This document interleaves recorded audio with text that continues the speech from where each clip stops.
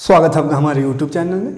तो इस वीडियो में देखेंगे नाइन क्लास का साइंस का चैप्टर सेवन का पार्ट थ्री है ना? जंतु, जगत, एनिमल, किंगडम। इससे पहले के पार्ट में हमने पादप जगत देखा था और इससे भी पहले का पार्ट में और तीन जगत जो था, मोनेरा मोनेरा प्रोटिस्टा फंजाई, ये पहला पार्ट में देखे थे। दूसरा पार्ट में पादप जगत के बारे में डिटेल से पढ़े थे। प्लांट किंगडम पढ़े थे। आज पढ़ेंगे एनिमल किंगडम यानी कि जंतु जगत। तो देखिए, जंतु जगत जंतु जगत में हम लोग सब जीव जंतु आ जाएगा जितना भी है और हम लोग भी आ जाएँगे, है ना? तो जंतु जगत में पढ़ेंगे, बहुकोशिकी जीव रहेगा इसमें। बहु कोशिक है ना? बहुकोशिकी जीव होगा। जैसे प्लांट में भी बहुकोशिकी आता है, इसमें भी रहेगा बहुकोशिकी। तो मेन फ़र्क क्या होगा? बहुकोशिकी तो बहुत पहले से शुरू हो चुका है ना? प्लांट ज़्यादा, जितना पढ़े सब बहुकोशिकी था। तो इसमें क्या फ़र्क है? प्लांट और इसमें मेन फ़र्क है कि इसके कोशिका में कोशिका भित्ति नहीं होता है। जंतु जगत वाला में जितना भी आएगा, इस सब का कोशिका भित्ति नहीं होगा। कोशिका भित्ति नहीं होता है। ठीक है? कोशिका भित्ति नहीं होता है। और क्या मेन फ़र्क है? इसमें प्रकाश संश्लेषण नहीं हो सकता है। प्रकाश संश्लेषण नहीं होता है। ठीक है? प्रकाश संश्लेषण नहीं होता है। जंतुओं में। और ये एक और एक लिख सकते हैं विषम पोषी है। विषम पोषी मतलब समझ में आता है, जो दूसरे पर आश्रित होता है। अपना भोजन खुद स्वयं नहीं बना सकता है, दूसरे पर जो आश्रित होता है, उसको विषम पोषी कहते हैं। ठीक है? तो जंतु में हमको जो पढ़ना है यहाँ पे, उसका मेन खासियत रहेगा कि ये बहुकोशी को होगा कोशी का भित्ति नहीं पाया जाएगा प्रकाश संश्लेषण भी नहीं होगा, और ये सब विषम पोषी होगा। ठीक है? तो इसमें बहुत सारा जगत आता है, यानी बहुत सारा और भी इसके नीचे का डिवीज़न है ग्रुप है। इस जंतु जगत में बहुत सारे जीव का अलग अलग ग्रुप आता है, जिसको फाइलम कहते हैं, ठीक है? देखिए फाइलम पोरी पेरीफेरा फाइलम पोरीफेरा पढ़ना है फाइलम सिलेंट्रेटा पढ़ना है फाइलम प्लेंटी हेलमेंथीज और एस्केल एस्केलमेंथीज पढ़ना है। उसके बाद एनीलिडा पढ़ना है, उसके बाद अर्थोपोडा फिर मोलास्का, उसके बाद इकाइनोडर्मेटा और कार्डेटा, है ना? तो ये सारे ग्रुप को, ये सारे फाइलम को यहाँ पे अध्ययन करना है, ठीक है? तो एक एक करके सभी को देखते हैं, ठीक है? नाम थोड़ा डेंजर डेंजर है, दो, चार बार, दस बार पढ़ के और नाम को कोशिश करिएगा याद करने का। Porifera, Coelenterata, Platyhelminthes Aschelminthes, Annelida, Arthropoda, Mollusca Echinodermata और कार्डेटा, है ना? तो पहला क्या है? पोरीफेरा। तो पहला देखते हैं पोरीफेरा में क्या खासियत है पोरीफेरा का? इसमें कौन कौन सा जीव आएँगे? वो सबको पहले देख लेते हैं ना? Phylum Porifera. Phylum Porifera. English Hindi दोनों नाम एक ही है है ना? इसलिए कोई दिक्कत नहीं इंग्लिश में भी यही होगा, हिंदी में भी यही होगा। Phylum Porifera. तो ये फाइलम पोरीफेरा, इसमें जो आएगा, जैसे कि आपको चित्र में यहाँ पे दिख रहा होगा, बहुकोशिकी, क्योंकि शुरू ही बता दिए जंतु जगत है, यानी ये सब बहुकोशिकी होगा इसमें, है ना? तो ये बहुकोशिकी होता है, लेकिन इसमें उत्तक नहीं पाया जाता है। उत्तक इसमें नहीं पाया जाएगा। बहुकोशिकीय है, लेकिन उत्तक नहीं होता है है ना?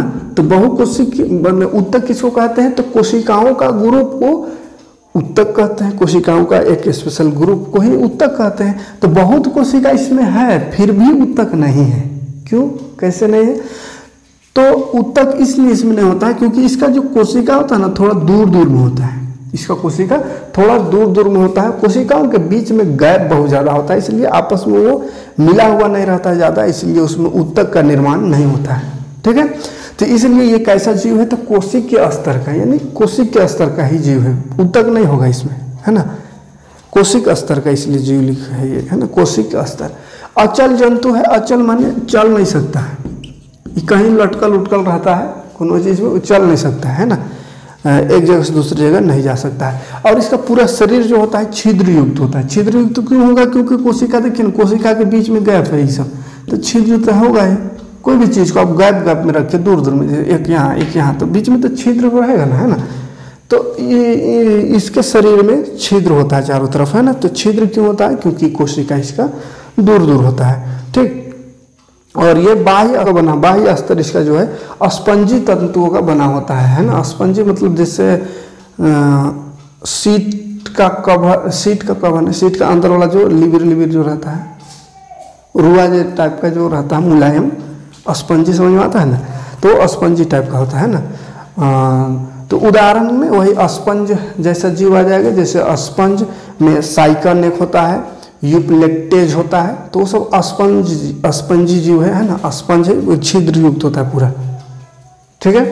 स्पंज समझ में आता है समुद्री जीव पानी में रहने वाला मतलब जीव है। और वो सब जो अभी बनता है जो उस तरह से स्पंज जैसा जो भी संरचना का कोई चीज़ बनता है तो उसको स्पंज ही नाम रखता है जैसे एक मीठा बेस है जिसको स्पंज कहते हैं वो भी स्पंज मतलब छिद्र छिद्र थोड़ा होता है। और स्पंज मतलब दबने से दब जाएगा वो, दबाने से दब जाएगा तो वो स्पंज होता है। चाहे स्पंज वो जो तकिया उकिया जो बनता है, वो भी स्पंजी उसको भी कहते हैं ना। तो जीव से ही आया, उस जीव के नाम से ही वो सबको रखा गया और उसी को के आधार पे ये सब बनाया गया है ना।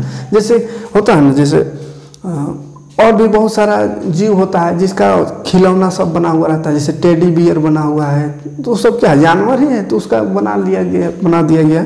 तो उसी तरह ये जंतु एक है, स्पंज, उसी से मिलता जुलता या उसी को देख करके कुछ बनाया गया उसी से मिलता जुलता तो उसको स्पंज ही कहते हैं, जैसे मिठाई भी स्पंज होता है तो खाने वाला है।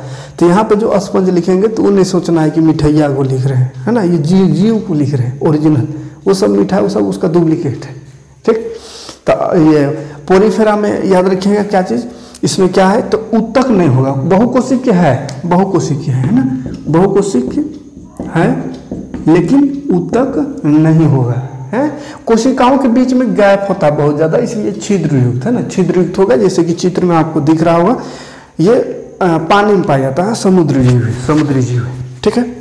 कोई दिक्कत नहीं आता फाइलम पोरीफेरा में फाइलम है सिलेंट्रेटा। ये जो होता है सिलेंट्रेटा इस ग्रुप में जो जीव आते हैं, वो उत्तक के स्तर का होता है। मतलब इसमें उत्तक होता है। कोशिकाओं से मिलकर के उत्तक है ना, बहुकोशिकीय कोशिकाओं से मिलकर के उत्तक भी इसमें बना होता है। जीव, ये जो जीव होता है द्वि स्तरीय होता है। माने एक यहाँ ये हुआ, उसके बाद एक और इसमें स्तर रहता है। तो ये द्वि स्तरीय जीव होता है। उसका गुहा जो होता है, खुला होता है। गुहा मतलब शरीर का कोई अंग, जैसे हम लोग का फेफड़ा किडनी, वो ढका हुआ है, छाती का हड्डी उड्डी से, है? एक गुहा बना हुआ, उसके अंदर रहता है। लेकिन इसका अंग जो है, वो खुला होता है, ठीक है? इसका गुहा, इसका अंग खुला रहता है, इसमें की क्या है तो जल जीव है, और इसमें बाल जैसा संरचना निकला हुआ रहता है। मुँह से खास करके, मुख, उसका जहाँ पर मुँह रहता है, उसमें बाल जैसा, रोआ जैसे इस तरह से बड़ा सा संरचना, बड़ा बड़ा निकला हुआ रहता है है ना? हम्म। एग्ज़ाम्पल में आप देख सकते हैं हाइड्रा हाइड्रा होता है। सियनोमोन कोरल एक होता है, जिसको मूँगा भी कहते हैं, है ना? तो ये सब जलीय जीव है। तो पोरीफेरा और सिलेंड्रेटा में ज़्यादा फ़र्क नहीं है, बस उसमें क्या है कि उसमें कोशिकीय स्तर, मानी कोशिका वाला जो था, ये उत्तक इसमें उत्तक भी है। बाकी दोनों पानी में रहता है। ठीक है? और इसका मुँह से बाल जैसा संरचना आपको दिखाई देगा, है ना? बाल जैसा गुच्छा गुच्छा एगो या दो या इस तरह से गुच्छा गुच्छा जैसे चित्र में दिख रहा होगा, ठीक है? कोई दिक्कत नहीं तो ये भी छोटा जीव है, समुद्री जीव, है ना? तीसरा होता है प्लेटी हल मेंथीज प्लेटी हल मेंथीज याद रखिए प्लेटी हल मेंथीज प्लेटी हेल मेंथीज प्लेटी हेलमेंथीज ये क्रीमी इसमें आता है, ठीक है? क्रीमी। क्रीमी सुने होंगे, देखे होंगे। अब जो जीव पढ़ेंगे, वो सब आपको देखे होंगे, है ना? इससे पहले जो था वो समुद्री जीव वो सबको आप नहीं देखे होंगे, लेकिन ये यहाँ से जो जीव स्टार्ट होगा, उसको आप देखे होंगे। जैसे क्रीमी इसमें चपटा क्रीमी आएगा चपटा वाला, है ना? क्रीमी जोंक जैसा ही रहता है, जोंक रहता है, उसी तरह क्रीमी भी होता है, लेकिन चपटा रहता है, फीता जैसा। पत्ती जैसा या फीता जैसा? फीता क्रीमी इसलिए कहते हैं इसको, है ना? फीता जैसा संरचना रहेगा। तो इसलिए इसको फीता क्रीमी कहते हैं। फीता के मेरे, जैसे फीता चपटा रहता है, जैसे टेप नापने वाला। टेप वार्म या फीता क्रीमी, टेप फीता जो होता है, पतला सा होता है, इस तरह से पतला सा ये जीव है। पतला, लंबा रहता है, लेकिन उसका संरचना पतला है ना, गोल नहीं रहता है पतला, फीता जैसा। इसमें जो है, एक मेन पॉइंट याद रखिएगा, नर और जनन। जनन, एक ही जीव में रहता है, एक ही में। नर और जनन अंग एक ही जीव में उपस्थित होता है। मतलब एक एक जीव है। उसी में नर जनन अंग भी रहेगा मादा जनन अंग भी रहेगा है ना? बाकी जैसे अन्य जीव जंतुओं में अ, मादा अलग होती है अलग जीव है एक है नर अलग है जैसे हम लोग लड़का अलग है लड़की अलग। लेकिन इसमें दोनों एक ही जीव में पाया जाएगा। नर वाला भाग भी और मादा भाग भी। मतलब जनन भी एक ही जीव से एक ही जीव से हो जाता है। ठीक है? उदाहरण के लिए हो जाएगा लीवर फ्लू बीमारी होता है सबसे बहुत ज़्यादा, है ना? क्रीम, फीता कृमि में अगर कृमि अगर प्रवेश कर गया शरीर में तो बीमारी होता है, जैसे लीवर फ्लू होता है, लीवर फ्लू बीमारी का भी नाम है और जोंक का भी नाम है, जो फीता कृमि कृमि का भी नाम है तो उसी से लीवर फ्लू पड़ा है नाम, है ना? इस कृमि से ही बीमारी का नाम। फिर ब्लड फ्लू सुनवाएँगे तो ब्लड फ्लू भी जी, है, क्या है? जीव है ना? क्रीमी है। तो ब्लड फ्लू, टेपवर्म यानी फीता कृमि, ये सब आता है इस ग्रुप में, ठीक है? चौथा ग्रुप में है फाइलम एस्क्लेमेंथीज एस्क्लेमेंथीज। तो इसमें देखिए, ये भी क्रीमी आएगा, लेकिन इसमें गोल क्रीमी गोल क्रीमी गोल क्रीमी इसमें आता है, ठीक है? वो क्रीमी चपटा वाला कृमि उस ग्रुप में आता है और गोल का कृमि जो है, ये आता है इस ग्रुप में। कौन सा ग्रुप में? एस्क्लेमेंथीज है ना? गोल वाला कृमि यानी जोंक जैसा रहेगा, है ना? गोल गोल। पेट में भी रहता है जोंक। पेट में जोंक हो जाता है तो यही वाला होता है, या वो वाला भी हो सकता है। ओला होगा तो फिर उसमें ब्लड फ्लू या लीवर फ्लू जैसे बीमारी हो सकती है। इससे भी बीमारी होती है, इससे डायरिया हो सकता है, या फलेरिया होता है है ना? ये वाला गोल कृमि से। तो गोल कृमि शरीर सूक्ष्म माने छोटा ही होता है, ये भी कुछ सेंटीमीटर तक, है ना? त्रिकोरक और द्वि पार्श्व सम्मित माने दोनों तरफ़ से पार्श्व सम्मित जो सम्मित आ रहा है, माने दोनों तरफ़ से एक ही दिखेगा। किधर मुँह, किधर पूंछ, पता नहीं चलेगा है। वास्तविक देह गुहा का अभाव, माने वास्तविक देह गुहा इसमें भी नहीं रहता है। कौन किडनी, कौन हार्ट, कौन हाथ, पैर, ऐसा कुछ देह गुहा नहीं रहता, सीधा लंबा सा रहता है जोक जैसा, है ना? और इसका हो जाएगा? एस्केरिस बुकेरिया, जिसे डायरिया सब होता है ना, डायरिया क्रीमी भी कह सकते हैं और फलेरिया क्रीमी। फलेरिया होता है, डायरिया होता है। तो ये मेन पॉइंट ये याद रखना चेप्टा वाला को प्लेंटी हेलमेंथीज में आएगा, और ये गोल वाला क्रीमी जो है गोल का वाला, वो एस्केले एस्केलेमेंथीज में आता है। ठीक है?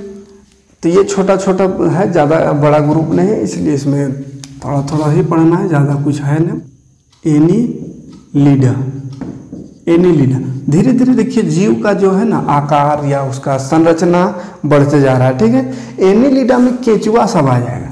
केचुआ केचुआ देखिए ना, जोकटी, जोंक, केचुआ और जोंक सब आ जाएगा इसमें। जोकटी जिसको बोलते हैं। तो ये नम भूमि में कहाँ पर रहता है? नम भूमि, ये नम भूमि में रहेगा और समुद्र में भी पाया जाता है, जल और समुद्र में भी, है ना? नम भूमि, जल और समुद्र में पाया जाता है। ये कैसा? वास्तविक देह गुहा वाला होता है। इसमें वास्तविक देह गुहा इसमें थोड़ा सा वास्तविक, इसका देह गुहा जो होता है, वास्तविक होता है। उभयलिंगी, लैंगिक एवं स्वतंत्र। उभयलिंगी मतलब वही, नर और मादा एक ही में, नर और मादा एक ही में। नर और मादा एक ही में इसमें भी रहता है, ठीक है? जैसे जोकटी देखे ही होंगे, है ना? जो देखे ना, केचुआ अर्थवर्म इसमें एक तरफ़ रहता है नर, एक तरफ़ मादा। एक के गो में है ना? इसलिए जनन करना हो तो कब देखिए ज़्यादातर ऐसा लेटपटाल रहता है? ये लेटपटाल रहता है जो। तो कह रहा है? आबादी बढ़ा रहा है ना, इस तरह से कर। तो आबादी बढ़ाने के लिए एक एक में नर मादा है। लेट बढ़ा देता है, एक ही में।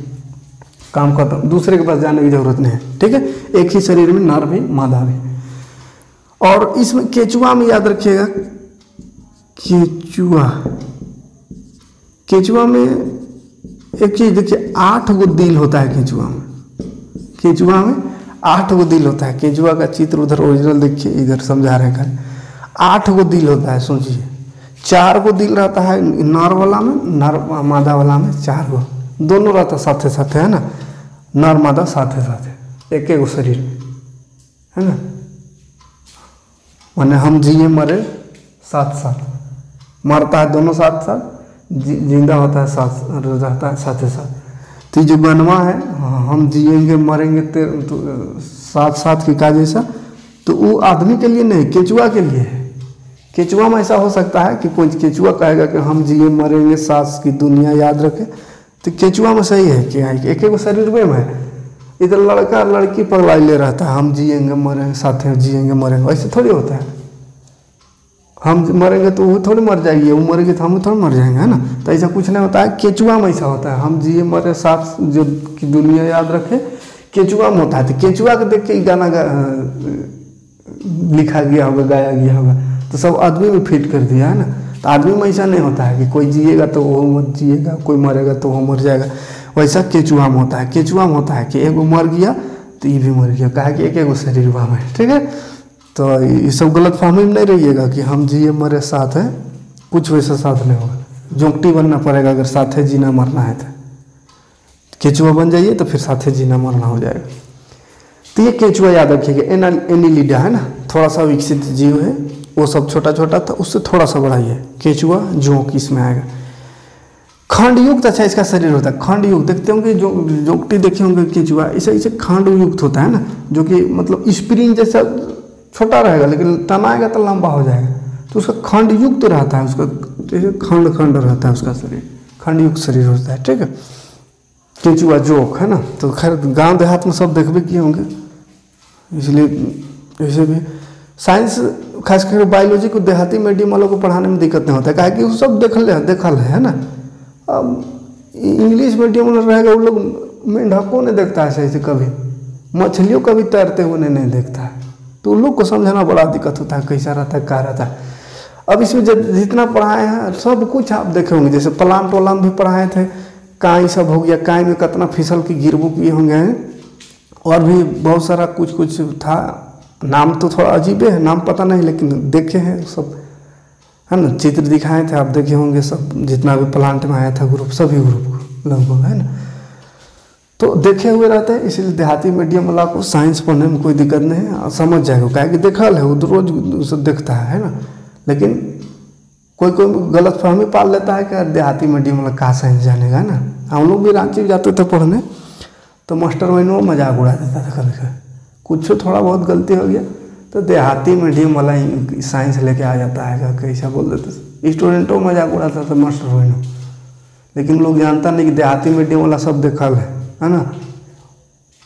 सब देख के हम लोग प्रैक्टिकल सबको देख चुके प्रैक्टिकल छू छा के देख सबको देखे हैं। खाली किताबों में वो लोग पढ़ा है खाली, कि हाँ ये ऐसा होता है, केचुआ ऐसा रहता है, सहवाल ऐसा रहता है हरियर हरियर फिसल में कहीं गिरेगा तब ना जानेगा कि हाँ ओरिजिनल में सहवाल कैसा रहता है। तो हम लोग वो सब किए हुए हैं, इसलिए देहाती मीडियम से तो टेंशन नहीं लेना है।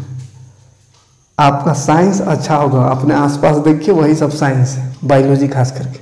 अपने आसपास जितना जीव देखते होंगे वही सबको पढ़ना है, और कुछ नहीं है ना? खाली थोड़ा सा फ़र्क है कि हिंदी मीडियम में है तो हिंदी से पढ़ रहे हैं इंग्लिश मीडियम वाला इंग्लिश से पढ़ता है, बस इतने समझ फ़र्क है। बाकी समझने के बाद जितना हिंदी मीडियम वाला समझता है, उतना इंग्लिश मीडियम नहीं समझ सकता। क्या ये प्रैक्टिकली समझता है, जो चीज़ को समझता है, उसको देखा भी है वो, है ना? इंग्लिश मीडियम वाला को नसीब नहीं देखने का कहाँ देखेगा? ठीक है? तो इसलिए घबराना नहीं है कि हिंदी मीडियम है तो साइंस लेके कैसे पढ़ेंगे। दिक्कत नहीं, बस लैंग्वेज का फ़र्क है लैंग्वेज कुछ मायने नहीं रखता है। चीज़ों को समझिए तो लैंग्वेज कुछ और है। जैसे एनी लीडर ये तो खैर इंग्लिश वर्ड है, लेकिन अगर हिंदी में इसको कुछ और लिखा हुआ रहता तो उसका हिंदी से हम समझ जाते कि ये सब ये सब की पूरा डिटेल समझ गए तो एनी लीडर लिखा रहेगा तो मतलब इंग्लिश लिखा हुआ रहेगा तो नहीं समझेगा, है ना? तो सब समझ में आएगा, भाषा से कोई मतलब नहीं है। भाषा बस अपना विचार का आदान प्रदान के लिए के लिए प्रयोग करते हैं। और कुछ नहीं, है ना? लेकिन भाषा को ही आदमी बहुत बड़ा चीज़ समझ लेता है। मैंने अंग्रेज़ी जो जानता है उसको बहुत बड़का आदमी है, जो नहीं जानता वो अनपढ़ गवा है तो ऐसा कोनो बात नहीं है ना। इंग्लिश बस एक भाषा है, जैसे हिंदी भाषा है, नागपुरी, भोजपुरी, सब भाषा है। इंग्लिश भी भाषा है, बस फ़र्क है कि वो इंटरनेशनल भाषा है, मैंने देश विदेश हर जगह चलता है, इसलिए थोड़ा ज़्यादा इज़्ज़त है इंग्लिश। तो घबराना नहीं हिंदी मीडियम में तो है ना। चीज़ों को समझिए, आप अच्छे मुकाम पर पहुँच सकते हैं, अगर अच्छे से प्रैक्टिकली समझते चलिएगा तो ठीक है? तो ये केचुआ सब देखे होंगे, जोंक भी देखे होंगे, है ना? कैसे चलता है छू छा के भी देखे होंगे। मछली उछली मारने जाते होंगे तो बंसी में चारा कहते हैं जोकटी को हैं, पतला वाला को चारा डाल के मछली फंसाते हैं। तो छू छा के भी पूरा उसको तोड़ मोड़ के देखे हैं तो फिर इसको और पढ़ाने का ज़रूरत है। खाली ना याद रख लिया कि एमिलीडा ग्रुप में आता है जो जोकटी जो है, केचुआ एनिलीडा ग्रुप में आता है, ठीक है? चीर फाड़ करके देखबे गेहूँ में आगे बढ़ते हैं, अगला ग्रुप। देखिए आर्थोपोडा जो है सबसे बड़ा ग्रुप है। जंतु जगत का सबसे बड़ा फाइलम, सबसे बड़ा जगत सबसे बड़ा जगत फाइलम है। सबसे बड़ा जगत या फाइलम कौन है? जंतु जगत का तो सबसे बड़ा है आर्थोपोडा। आर्थोपोडा में क्या आगे जितना भी कीट देखते हैं कीड़ा मकोड़ा कीड़ा मकोड़ा जितना भी देखते हैं वो सब आ जाता है आर्थोपोडा में ठीक है? ऐसा वाला संरचना का जितना जीव है लंबा वाला वो सबको देख लिया उसमें ज़्यादा कुछ हाथ पैर और नहीं रहता है है ना? अपना पूरा शरीर जैसे वो इधर उधर होता है। अब जो ग्रुप देखेंगे, इसमें कीड़ा मकोड़ा आएगा। कीड़ा मतलब इसमें वैसा रेंग ऐसा वाला लंबा वाला केंचुआ टाइप का नहीं आएगा ना? जैसे मक्खी हो गया, मच्छर हो गया, है? और क्या होता है? मधुमक्खी हो गया। या वैसे बहुत सारा कीट कीड़ा मकोड़ा देखते होंगे, खासकर बरसात में थोड़ा पानी आता है लाइट उठ समय उड़ते रहता है। हैं? तो वही सब कीड़ा मकोड़ा, तितली हो गया, तितली भी इसी में आएगा। तो ये सबको यहाँ पे पढ़ना है। ठीक है? वही सब आता है मतलब इस ग्रुप में अर्थोपोडा में। तो ये जो कीट मकोड़ा, कीड़े मकोड़े का ग्रुप है, जंतु का सबसे बड़ा ग्रुप है। इसमें लगभग दस लाख जीव आते हैं अर्थोपोडा में। तो क्वेश्चन कभी पूछता है, सबसे बड़ा जगत कौन सा है? तो अर्थोपोडा है ना? एनिमल जंतु जगत का सबसे बड़ा ग्रुप सबसे बड़ा फाइलम कौन है? तो अर्थोपोडा है ना? अर्थोपोडा 80 परसेंट जीव इसी में आ जाता है। ठीक है? सबसे बड़ा जगत है। इसका जो संरचना होता है कैसा होता है इसका पैर खंडयुक्त व जुड़े हुए होता है। खंडयुक्त मान खंड खंड दो टुकड़ा तीन टुकड़ा में और जुड़ा हुआ रहता है। खंडयुक्त और जुड़ा होता है। सिर शरीर वक्ष और इसका उदर विभाजित होता है। देखिए सिर मतलब मूड़ी है ना?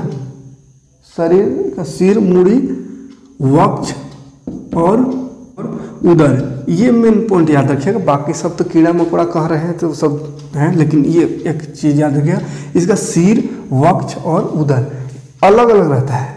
माने विभाजित रहता है अलग अलग नहीं, विभाजित मतलब अलग ही रहता है, लेकिन एकदम अलग नहीं रहेगा, उसी से जुड़ा हुआ रहेगा, है ना? जैसे हम लोग का मूड़ी यहाँ से थोड़ा अलग टाइप से है ना, विभाजित लग रहा है।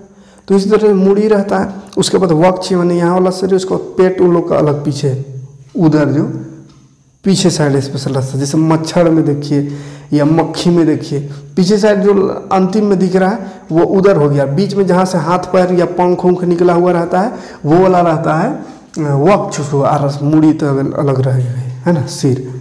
तो जितना भी कीड़ा मकोड़ा उसमें सब में वही संरचना होता है। चीटी में भी, मक्खी में भी, मच्छर में भी, सब में वही, है ना। उधर पिछला वाला भाग, बीचवा वाला भाग, जहाँ से पैर या पंख निकला हुआ रहेगा, उसको वक्ष और उसके बाद सिर तो तीन खंड में रहता है। इस तरह से फिर यहाँ से थोड़ा सा यहाँ पे कुछ खंड, और इधर मुड़ी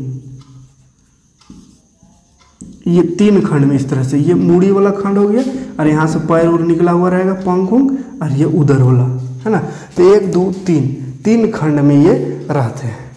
तीन खंड में इसका शरीर बना हुआ है।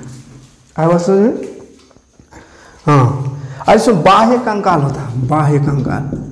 बाह्य कंकाल मेन मेन पॉइंट को लिख दे रहे कंकाल, बाह्य कंकाल। इसका जो कंकाल है वो बाह्य कंकाल यानी बाहरी कंकाल होता है काइटिन का बना होता है इसका कंकाल, काइटिन। तो बाह्य कंकाल, आप कहिएगा हड्डी मच्छर में हड्डी, कंकाल में हड्डी ना होता है। तो मच्छर में हड्डी कहाँ से आ गया तो होता है, भले छोटा जीव है तो उसका हड्डी उसी के हिसाब से नरम न रहेगा। हम लोग कठोर हड्डी खोजेंगे तो कहाँ मिलेगा?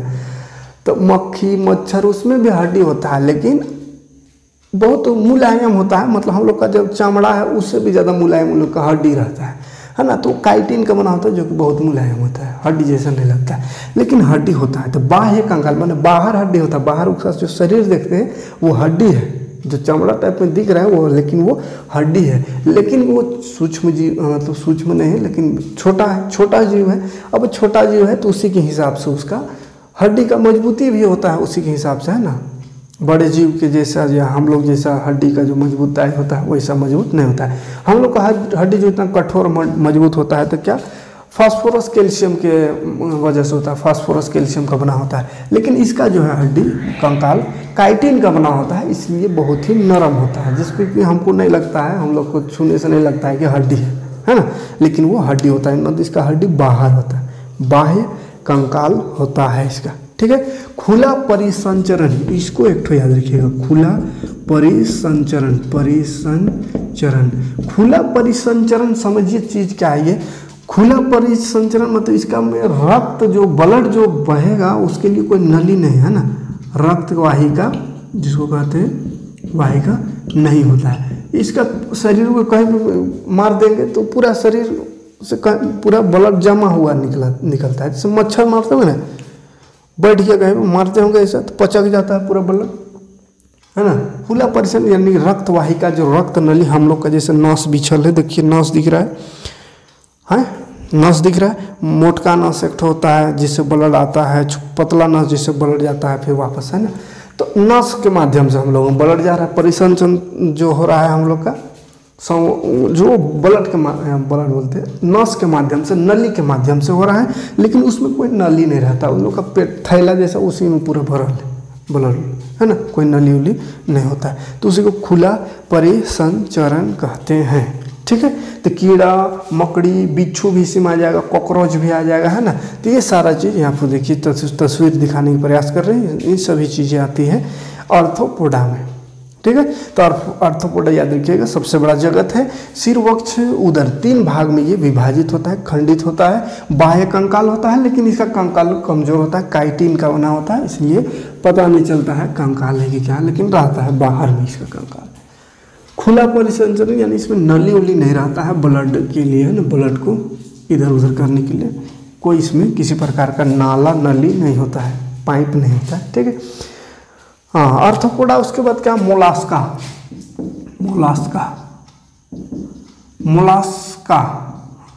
सतवा नंबर है। कोई भी नंबर हो सकता है नंबर का मतलब है। Mollusca phylum Mollusca. अर्थोपोडा के बाद सबसे बड़ा ग्रुप यही है। और समुद्र में जो रहता है, समुद्र में सबसे बड़ा यही आता है। समुद्र में रहने वाले सबसे बड़े ग्रुप।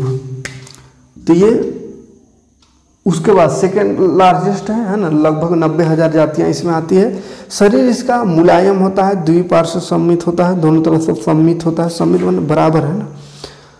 शरीर, सिर, उदर, व पाद में विभाजित होता है। सिर, सर मन उदर और पाद में विभाजित होता है, पाद मन पैर में, है ना? तो उदर, शरीर, उदर, पेट और पैर इसमें विभाजित होता है इसका अंग। इसका जो बाह्य भाग होता है, कैल्शियम का खोल से बना होता है है ना? मतलब थोड़ा मज़बूत होगा। इससे पहले वाला काइटिन से बना हुआ था, जो कि बहुत ही नरम था, है ना? तो इसका कैल्शियम से बना होता है, कैल्शियम। बाहरी खोल, बाहर वाला खोल। कैल्शियम का होता है, इसलिए थोड़ा मज़बूत होता है है ना? बाह्य भाग, कैल्शियम का।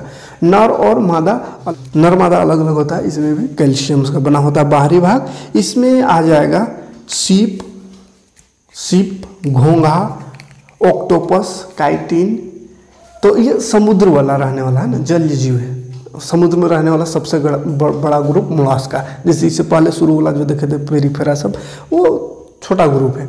और ये जो मोलास्का है, ये बहुत बड़ा ग्रुप है समुद्र में रहने वाले जीवों का। और जिसमें बहुत सारा जीव आता है, जिस घोंघा, जैसे घोंघा देखे होंगे, हैं? अब बरसात में घोंघे बिछने जाते हैं, जाता है देहात में बहुत सारे लोग।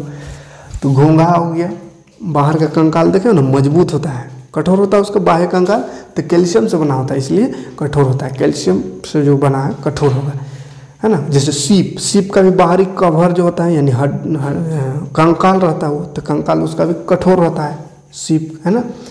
शंख बजाते जो है, शंख, वो भी समुद्री जीव है, उसका भी बाहर कंकाल से बजाते हैं, उसका अंदर का सब खत्म हो जाता है तो कंकाल वाला रहता है जो बजाते हैं। तो कंकाल उसका मज़बूत है, कैल्शियम का बना हुआ है ना? तो कठोर कंकाल रहता है उसका, इस तरह से कठोर कंकाल है ना?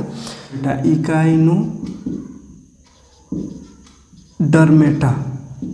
इकाइनोडर्मेटा देख लेते हैं जल्दी से। ये भी समुद्री जीव है। कैसा जीव है बाबू? तो ये भी समुद्री जीव है। समुद्र में रहने वाला समुद्री जीव। समुद्र में रहने वाले जीव है एकाइनो डरमेटा। एकाइनो डरमेटा। शरीर तारे की तरह गोल होता है या लंबा होता है? तारा के जैसा रहता है, गोल रहता है या लंबा रहता है ना? स्टार फ़िश देखे होंगे। तारा के जैसा, जैसे तारा के जैसा इस तरह रहता है, इसी तरह इसका भी शरीर रहता है। तारा के जैसा या लंबा रहता है या गोल भी रह सकता है। तो स्टार फ़िश जैसे सुने होंगे आप नाम, है ना? तो स्टार फ़िश इसमें आता है। ठीक है? तो इसमें कैल्शियम का बाह्य स्तर में कांटा होता है इस तरह का। है ना? बाह्य स्तर में इस तरह से उभरा हुआ रहता है, कांटा टाइप कांटा रहता है जो है ना बाह्य स्तर में। कैल्शियम का रहता है, इसलिए ये भी कठोर होगा जो कांटा होगा, ये भी कठोर होगा, है ना। और शरीर अखंडित व त्रिकोणक अखंडित, यानी इसका विभाजन नहीं होता, एक के टाइप का सब, इसमें मुड़ी कौन, सर कौन, पैर कौन, कोई विभाजन इसमें नहीं होता है अखंडित होता है। ठीक है, खंडित माने मूड, अलग, हम लोग जैसे यहाँ से लगता है कि हाँ मूड अलग है यहाँ उस तरह इसका खंडित नहीं होता है, ठीक है? एक ही में सलमलेट, कौन का है, कुछ पता नहीं चलता है। और लिंग इसका भी अलग अलग यानी मादा अलग, जनन, मादा अलग और नर अलग होता है, ठीक है? एग्ज़ाम्पल में सियाचिन हो जाएगा स्टारफिश कैनोडर्मेटा, समुद्री जीव है। इसका जो संरचना होता है, तारा जैसा हो सकता है, गोल हो सकता है, लंबा भी हो सकता है। बाहर में कांटा जैसा थोड़ा थोड़ा होता है, कांटा जैसा, वो कांटा कैल्शियम का बना होता है, इसलिए मज़बूत होगा, है ना? कैल्शियम जहाँ भी होगा कठोर होता है।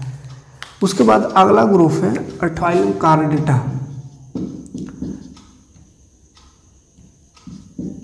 कार्डेटा, अब देखिए जीव का विकास हो रहा है कार्डेटा में हम लोग आ जाएँगे, है ना? जितना जीव है छोटा छोटा जीव था, वो सब पढ़ गए हैं पढ़ लिए। अब कार्डेटा में बड़ा बड़ा जीव और हम लोग भी, इंसान भी आ जाता है। तो इंसान किस ग्रुप में आता है, अगर कहेगा तो कार्डेटा, है ना? कार्डेटा में। तो इसमें अब क्या हो जाएगा? कार्डेटा में मेन एक अंतर आ जाएगा। इसमें जो इसकी कार्डेटा अब जो जंतु पढ़ेंगे जितना भी, उसमें एक बहुत बड़ा अंतर आ जाएगा कि इसमें रीढ़ की हड्डी पाई जाए इससे पहले जितना भी देखे, उसमें रीढ़ का हड्डी नहीं था। रीढ़ का हड्डी वाला, अब ना थोड़ा विकसित जंतु में आएँगे, है ना? रीढ़ का हड्डी होता है। तो कार्डेटा का में जितना पढ़ेंगे उस सब में रीढ़ का हड्डी पाया जाएगा। और पूछ रहेगा। पूछ पूछ। जीवन के किसी अवस्था में, जीवन के किसी अवस्था में। ये किसी अवस्था में लिख रहे हैं, इसके ऊपर भी कुछ बात है, इसलिए लिख रहे हैं। जीवन की किसी अवस्था में। मान कुछ से अवस्था हमेशा पूछ रही है नहीं है, ज़रूरी नहीं, लेकिन किसी अवस्था में, जीवन के किसी अवस्था में उसमें पूछ ज़रूर रहेगा। तो इसमें बोले थे कि आदमियों आता है, हम लोग भी आते हैं, कार्डेटा में। तो कहिएगा, हम लोग का तो पूछ नहीं है। देखते पूछ नहीं ना है हम लोग का। तो फिर हम लोग कैसे आ गए इसमें? तो देखिए, इंसान भी इसमें आता है, और इंसान का भी पूछ होता है। लेकिन वो पूछ, बोले ना, किसी अवस्था में रह सकता है? तो भ्रूण अवस्था में रहता है, यानी माँ का पेट में जब बच्चा रहता है तो उसमें पूछ भी रहता है। जब अविकसित बच्चा है? तो पूछ होता है। जैसे जैसे बच्चे का विकास होता है, वैसे वैसे वो पूछ खत्म हो जाता है ना?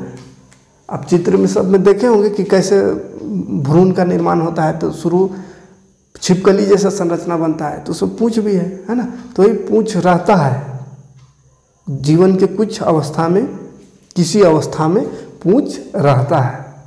फिर वो जब बच्चे का पूरा विकास हो जाता है तो धीरे धीरे पूछ खत्म हो जाता है, ना?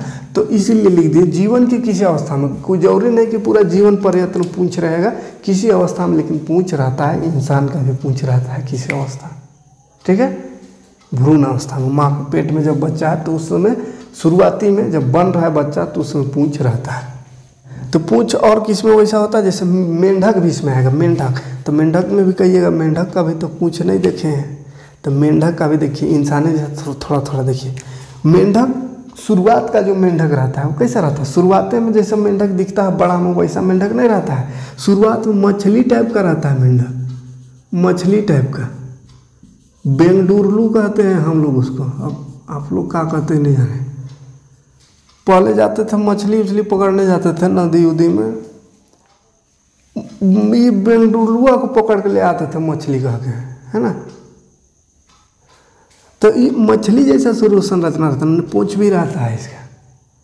फिर वो धीरे धीरे जब विकसित होता है, इसको टेड पोल कहते हैं ना, tadpole tadpole tadpole. तो मेंढक का शुरुआती अवस्था को टेडपोल कहते हैं। लार्वा से वो टेडपोल बनता है, जो मछली जैसा दिखता है, एकदम मछली जैसा, चौर का मछली जैसा है। तो यही मतलब टेडपोल फिर विकसित करके होता है, उसके बाद फिर ये मेंढक का रूप ले लेता है, ठीक है? तो उसमें पूछ नहीं दिखता है, जो मेंढक बड़ा वाला, लेकिन टेडपोल में पूछ रहता है। तो वैसे ही इंसान का भी शुरुआत में भ्रूण अवस्था में रहता है, विकसित होने के बाद खत्म हो जाता है, ठीक? तो पूछ जीवन की किसी अवस्था में होगा, ठीक? भले नहीं दिखाई देगा, लेकिन वो किसी अवस्था में उसमें पूछ रहता है।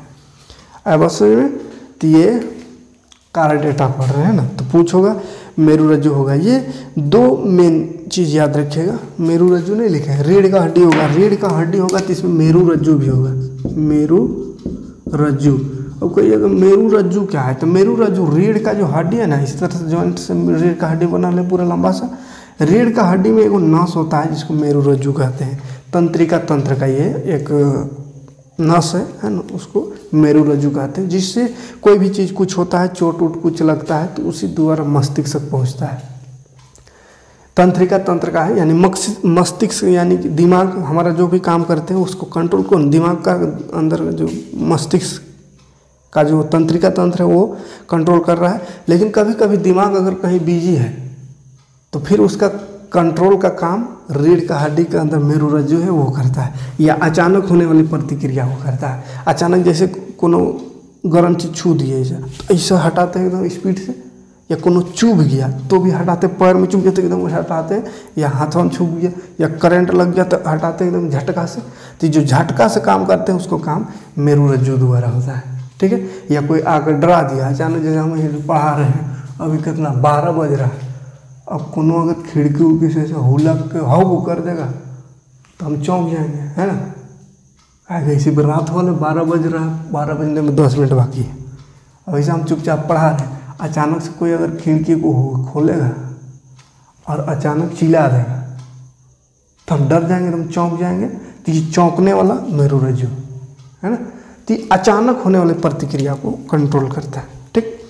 तो ये तीन मेन चीज़ है। फाइलम कार्बोरेटा में रीढ़ का हड्डी रहेगा, पूंछ रहेगा और मेरू रज्जु रहेगा, ठीक? कोनो दिक्कत नहीं यहाँ तक। आगे बढ़ जाते हैं। कार्बोरेटा में बहुत सारा और भी ग्रुप आएगा, वो सबको देख लेते हैं, ठीक है? है ना? तो कार्बोरेटा जो है फाइलम कार्बोरेटा इसको दो भाग में बांटा गया है है ना? दो भाग में बांटा गया है। आप एक ठो को बोलते हैं Protochordata Protochordata यहाँ पे एग्ज़ाम्पल नहीं लिखे, क्योंकि एग्ज़ाम्पल इसलिए लिखे ना, क्योंकि इसमें बहुत सारा जंतु आ जाएगा। बहुत सारा जंतु, और वही सब बहुत सारा जंतु, जैसे पक्षी भी आ जाएगा, मेंढक भी आ जाएगा, हम लोग भी आ जाएँगे, हाथी, घोड़ा भी आ जाएगा, है ना?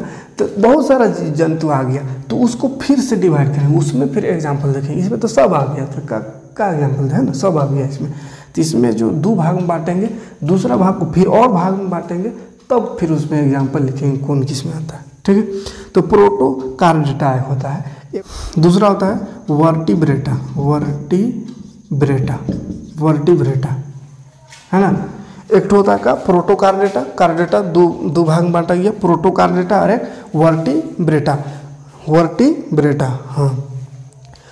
प्रोटोकार्डेटा में क्रीमी की तरह ही समुद्री जीव आता है, ठीक है? क्रीमी जो पड़े तो उसी की जैसे इसमें आता है क्रीमी के टाइप का, क्रीमी टाइप का समुद्री जीव। समुद्री जीव। लेकिन इसमें रेड का हड्डी होगा, काहे कि उसी के अंडर पड़ रहे हैं, ठीक है? हाँ श्वसन गिल्स द्वारा होता है, इसका भी लिंग अलग अलग होता है। जीवन की अवस्था में नोटोकार्ड में उपस्थित। जीवन की अवस्था में नोटोकार्ड की उपस्थिति। और जीवन की किसी अवस्था में पूंछ भी इसमें रहेगा। और ये सारा चीज़ रहेगा ना प्रोटोकार्डेटा तो प्रोटोकार्डेटा समुद्री कृमि के जैसा होता है, लेकिन समुद्री जीव होता है। तो ये ज़्यादा ये नहीं है, ये भी छोटा सा ग्रुप है, ज़्यादा बड़ा ग्रुप नहीं है। मेन हमको वर्टिब्रेटा देखना है, ठीक है? सबसे पहले इसमें आ जाता है मत्स्य मत्स्य वर्ग पढ़ना इसको, वर्ग कहेंगे, ठीक है? मत्स्य वर्ग मत्स्य वर्ग, ठीक है? पीसेस कहते हैं ना, मत्स्य वर्ग। देखिए, मत्स्य वर्ग मछली वाला वर्ग है। मत्स्य माने मछली, समझ में आता है मत्स्य पालन कहते हैं, माने मछली पालन, है ना? तो इसमें मछली जल जीव आएगा पानी में रहने वाला और कै- कैसा वाला? तो जल जीव मछली वाला, है ना? मछली के ग्रुप में जीव भी आता है। तो मत्स्य वर्ग कैसा है? तो ये जल जीव है। शरीर जो है, कवच युक्त होता है। कवच युक्त वाला कवच माने जो चोकला रहता है ना, जिसको खरीदते हैं, जैसे मछली तो उसको ना खखोर खखोर के उसको छोड़ा करके तब ना देता है, या अपने से भी बनाते हैं, उसको छोड़ा लेते हैं, उसके बाद उसको बनाते हैं कि उसका जो भी खाते हैं ना। तो मत्स्य में जो है, मछली में कवच होता है, उसका शरीर जो है कवच युक्त होता है, ठीक उसको कवच कहते हैं, जिसको छोड़ाते हैं चोकला, ठीक है। और आर्य आर्य समिति मैंने तैरने के लिए उसको समित मैंने बराबर शरीर होता है इधर उधर ढचकल पचकल नहीं रहता है। हृदय के दो कक्ष युक्त ठंडे खून वाले होते हैं। हृदय होता है दो कक्ष। वक्ष होता है हृदय में दो कक्ष होता है। हृदय में दो कक्ष चेम्बर होता है दो कमरा, दो चेम्बर होता है। जैसे हम लोग का आदमी का हार्ट, आदमी का दिल में चार चेम्बर होता है। उन लोग में दो गो चैम्बर होता है, ठीक है? दो गो चैम्बर होता है। और ये ठंडा खून वाला जंतु है, ठंडे खून वाला जो है ना? देखिए, जंतु को दो भाग में खून के हिसाब से बांटा गया है। एक को शीत रखती है जंतु कहते हैं, और एक को उष्ण रखती है जंतु। तो ये ठंडा खून यानी शीत रखती है, ठंडा खून इसका होता है। ठीक है? तो देखबे किए हैं, है ना? तो ज़्यादा इसमें समझाने की ज़रूरत नहीं है। चित्र उत्र भी देखिए लीजिए एक डॉक्टर। उभयचर दूसरा में आता है तो उभयचर भी समझा देते हैं। थोड़ा सा उभयचर भी जानबे करते होंगे। उभयचर उभयचर को एम्फीबिया कहते हैं। एम्फीबिया।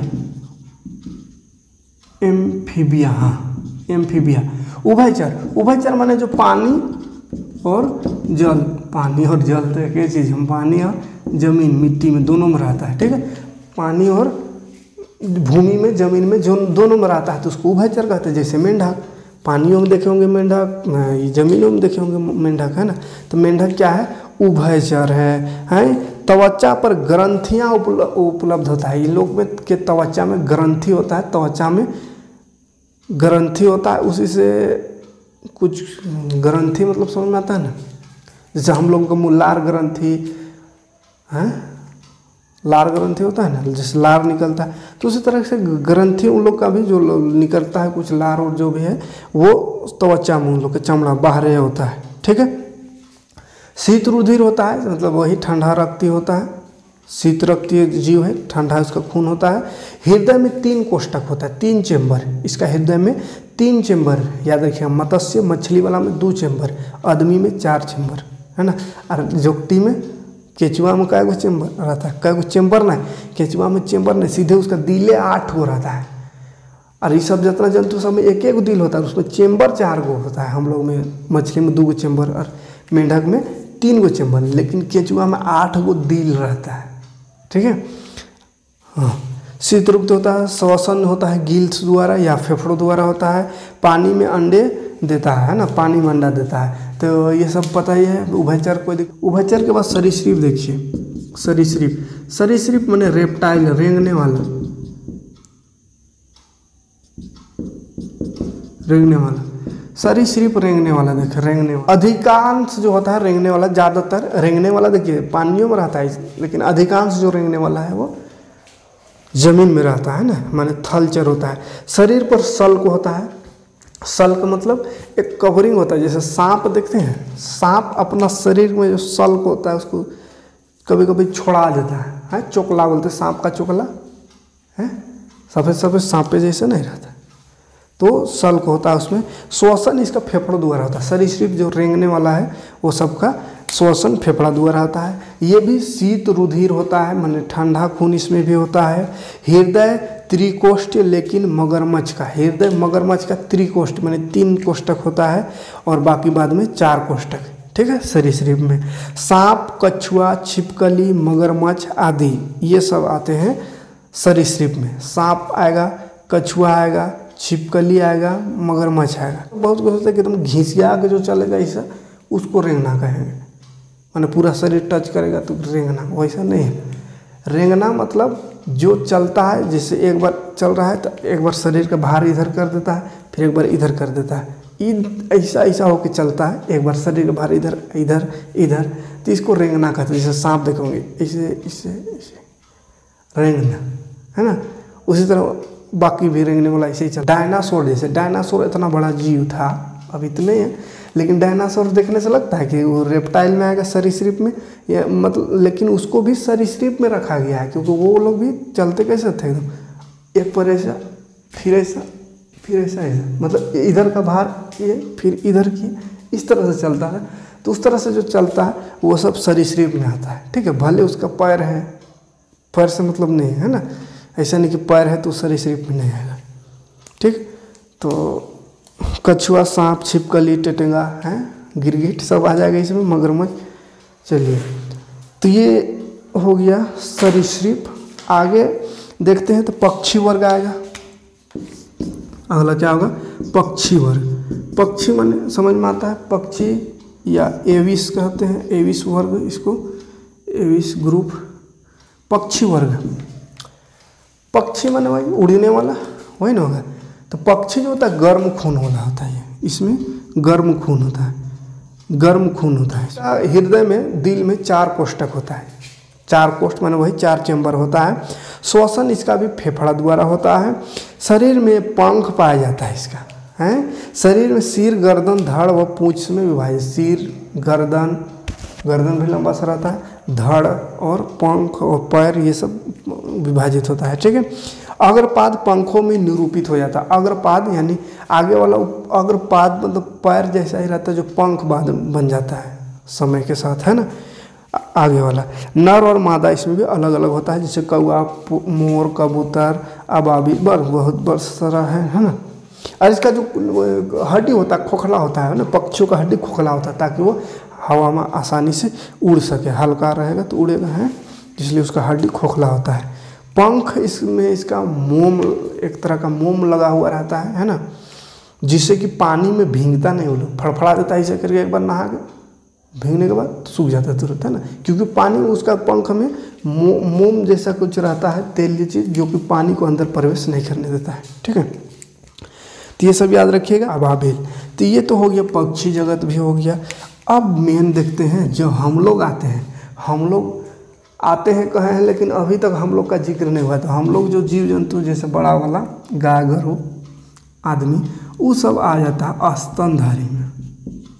ठीक है? स्तनधारी वही कार्डेटा के अंदर में, वर्टिब्रेटा, उसके अंदर में स्तनधारी आता है। स्तनधारी किसको कहते हैं? तो स्तनधारी वैसे जंतुओं को कहेंगे, वैसे जीवों को कहेंगे, जो अपने बच्चे को दूध पिलाते हैं। जो अपने बच्चे को दूध पिलाते हैं, वो स्तनधारी में आता है। ठीक है? तो स्तनधारी क्या है? सबसे बड़ा वर्ग। वर्ग है, यानी इसके अंदर का ग्रुप में, वर्ग में सबसे बड़ा वर्ग स्तनधारी है। स्तनधारी नाम से है कि उसमें स्तन पाया जाएगा, अपने बच्चे को स्तन दूध पिलाएगा, और इसका शरीर कैसा होता है? जिसका शरीर बाल युक्त होता है है ना? गर्म रुधिर वाला, यानी गर्म खून, हम लोग गर्म खून वाला है, समतापी। ताप सम रहता है, जैसे सैंतीस डिग्री हम लोग का है, सैंतीस से रहेगा ना? घटता बढ़ता नहीं, घटता बढ़ा, घटता घटेगा या बढ़ेगा तो फिर बीमार हो जाएँगे। कुछ प्रॉब्लम हो जाएगा, ठीक है? तो शरीर बाल युक्त जैसे बाल हम लोग का शरीर में पूरा बाल युक्त है। अन्य जीव जंतु देखिए, गाय, बकरी, भेड़, ये सब में भी बाल युक्त होता है। गर्म रुधिर, यानी गर्म खून वाले हैं समतापी जंतु हैं। स्तन ग्रंथि, बाह्य कर्ण उपस्थित। बाह्य कर्ण माने कान बाहर में उपस्थित, है ना? कान बाहर में उपस्थित। शिशुओं को बनने बच्चे को जन्म देते हैं। हृदय पर चार कोष्ठ होता है, मैंने वही दिल में चार कोष्ठ होता है। श्वसन का चीज़ फेफड़ा द्वारा करते हैं, ठीक है? माँ बाप द्वारा शिशु का देखभाल भी होता है इसमें। माँ बाप द्वारा शिशु का देखभाल भी करते हैं, ठीक है? तो उम्मीद है, समझ में आया होगा स्तनधारी क्या है? देख ही रहे हैं स्तनधारी हिरण अच्छा ये भी आता है स्तनधारी में, कौन? क्या बोलते उसको? चमगादड़, है ना? चमगादड़, शेर, डोल्फिन मछली भी स्तनधारी में आता है? डोल्फिन को मछली नहीं समझिएगा। डोल्फिन मछली नहीं है, डोल्फिन मछली बोलती है। डोल्फिन जिसको आमतौर पर आदमी मछली समझता है, लेकिन वो मछली नहीं वो स्तनधारी में आता है ठीक है? वो अपने बच्चे को दूध पिलाती है अच्छा बहुत कोई के दिमाग में आता है कि लड़का स्तनधारी है कि नहीं? है लड़की भर स्तनधारी है, बहुत कुछ लगता होगा। तो देखिए, लड़का है कि लड़की मेल हो या फीमेल हो, सब स्तनधारी में आता है, क्योंकि सब में स्तन होता है। ये अलग बात है कि स्तन लड़कियों का विकसित होता है, लड़कों का नहीं होता है, क्योंकि उन लोगों में, लड़कियों में स्तन ग्रंथि पाया जाता है, जिसके कारण उसका स्तन विकसित हो जाता है और मेल में स्तन ग्रंथि नहीं पाया जाता है, इसलिए उसका स्तन ग्रोथ नहीं करता है। बाकी स्तन सब में है, चाहे जानवरों की बात करें, मेल, फीमेल, जानवर में भी होता है ना मेल, फीमेल। तो ऐसा नहीं कि फीमेल वाला खाली स्तनधारी है, मेल भी, फीमेल भी सब स्तनधारी है, ठीक है? तो अस्तन सब में होता स्तनधारी सब है। जो अपने बच्चे को जन्म देता है, जो माँ बाप अपने बच्चे की देखभाल रखता है तो ये अस्तनधारी की खासियत है। अच्छा अस्तनधारी में भी तीन तरह के आता है। एक होता है प्रोटोथेरिया। प्रोटोथेरिया, खैर नाइन क्लास में नहीं पढ़ना है, इसे जानकारी के लिए बता दें एगो प्रोटोथेरिया होता है, इसके अस्तनधारी के अंदर आता है। प्रोटोथेरिया में जो जो होता है, वो अंडा देता है। स्तनधारी में तो शिशु को डायरेक्ट जन्म देता है, लेकिन नहीं। इसमें भी एक ग्रुप आता है, प्रोटोथेरिया, जिसमें वो अंडा देता है, अंडे से फिर उसका शिशु, बच्चे का जन्म होता है। ठीक है? इसमें प्लेटिप्स नामक एक जंतु है। प्लेटिप्स जो समुद्र में पाया जाता है, प्लेटिप्स। समुद्र में पाया जाता है, वो जंतु आता है। जो अंडा देता है, तब फिर अंडा से बच्चा होता है, उसको दूध पिलाता है। ठीक है? फिर एक होता है मेटाथेरिया आता है, मेटाथेरिया। जो अविकसित शिशु देता है। मेटाथेरिया एक ग्रुप आता है इसी में जो अविकसित यानी पूरी तरह से विकसित शिशु नहीं देता। है जैसे आदमी, ये, जैसे हम लोग इंसान मानव का जो शिशु होता है, बच्चा जो जन्म लेता है तो पूरे तरह से विकसित होता है। गाय, बैल बैल गाय हो गया, बकरी हो गया, या अन्य जानवर बहुत सारे हैं। जिसका जो बच्चा होता है, वो विकसित बच्चा पैदा पैदा होता है। जैसे बच्चा पैदा हुआ तो सबका रहता है ना, हाथ, पैर, आँख उख सब जैसा रहता है, पूरा शुरू से ही रहता है। ऐसे थोड़ी है कि आँख नहीं होता है आँख बाद में आएगा। पैर नहीं रहता है पैर बाद में आएगा। है? नहीं, जितना जो पैदा हो गया तो पूर्ण तरह से, पूरी तरह से विकसित शिशु पैदा होता है। लेकिन एक ग्रुप ऐसा भी है, कुछ जीव ऐसे भी है, जिसमें पूर्ण विकसित बच्चा पैदा नहीं होता। पैदा होने के बाद उसमें हाथ और पैर का विकास होता है, या कुछ आँख का विकास होता है। तो उसको कहते हैं मेटाथेरिया मेटाथेरिया। उसमें कंगारू आता है। कंगारू देखे ना, कंगारू, उसका बच्चा पूरी तरह से विकसित नहीं होता। कंगारू देखिए, यहाँ पे पेड़ में थैला जैसा रहता है, जिसमें अपना बचवा को डाल लेते हैं, है ना? तो कंगारू का जो बच्चा होता है, पूर्ण विकसित नहीं होता, इसलिए उसमें थैला भी ऊपर वाला दे दिया है। क्या कि पूर्ण विकसित है नहीं तो बाहर इधर उधर छोड़ देगा तो फिर दिक्कत हो जाएगा, इसलिए थैला में रखता है। ताकि नुकसान ना हो और शत्रु से बचाने के लिए भी, दुश्मनों से बचाने के लिए भी थैला में बच्चे को डाल देते हैं और भाग जाते हैं, ठीक है? तो ये हो गया, एक और ग्रुप होता है, यू, यूथेरिया। यूथेरिया जो अपने विकसित बच्चे को जन्म देता है। तो यूथेरिया में देखा जाए तो ओरिजिनल में हम लोग आएँगे जो पूर्व विकसित बच्चा को जन्म देता है, ठीक है? तो अगर स्तनधारी के अंदर घुसेंगे तो यूथेरिया ग्रुप में आएँगे, ठीक है? लेकिन उतना नहीं घुसना है, अभी नाइन क्लास में स्तन तक याद रखिएगा, ठीक है? स्तनधारी। तो चलिए, इतना ही था इस चैप्टर में। ख़त्म कर दिया। उम्मीद है समझ में आया होगा। है ना? समझ में आया होगा तो लाइक कमेंट ज़रूर कीजिएगा। तो मिलते हैं नेक्स्ट वीडियो में नेक्स्ट चैप्टर लेकर के। अब बायोलॉजी खत्म हो गया है। अब फिजिक्स स्टार्ट करेंगे ना? केमिस्ट्री और बायोलॉजी दोनों समाप्त हो गया। अब फिजिक्स स्टार्ट करेंगे तो ठीक है। तो मिलते हैं अगले वीडियो में फिजिक्स लेकर